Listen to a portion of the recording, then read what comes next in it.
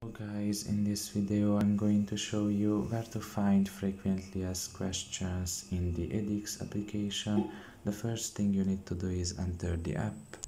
Once you are done with that and you are in the home page, you should look in the bottom of your right corner and there you will find your profile. Press on it.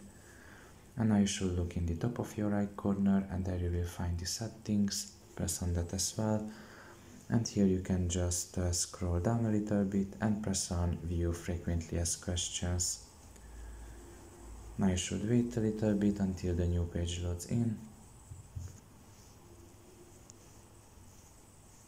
And once that is done you can just select a topic here like courses payments and refunds. And after that you can see your frequently asked questions. You can just uh, press on one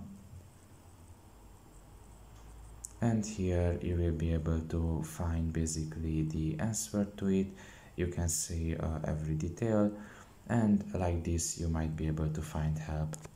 So that's pretty much it really. I hope this video was helpful to you. Thank you for listening and see you next time. Bye bye